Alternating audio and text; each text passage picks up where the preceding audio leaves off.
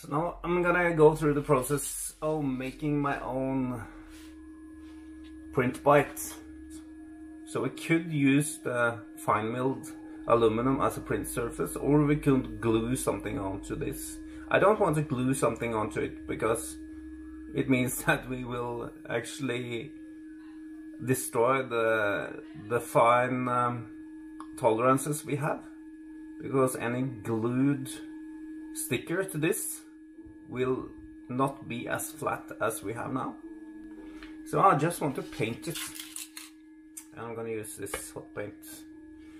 Uh, but we need to get some better adhesion. This is actually too fine milled so we need to uh, we need to grind it a little bit. So I'm using a 120 grit it should be okay I'm also preheating my oven. I'm gonna bake this uh, paint. I'm gonna bake the painted plates after we paint because or else the paint will not stick. The paint needs to be heated to be able to dry. 120 grit so I can get better adhesion for the paint of course I'm gonna clean this with alcohol now. Just gonna use some uh, alcohol and it make sure there are no grease stains on the surface. Then we can add the paint.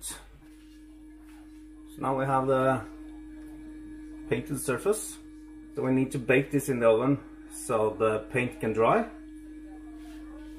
so I'm basically just gonna put this into the oven at uh, about 100 C.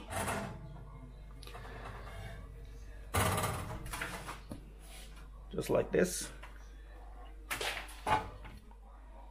So I'm gonna bake it for I mean half an hour or something like that.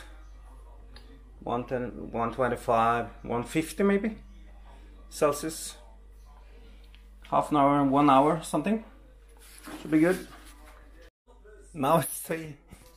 So now it's time to take our cake out of the oven and have a look.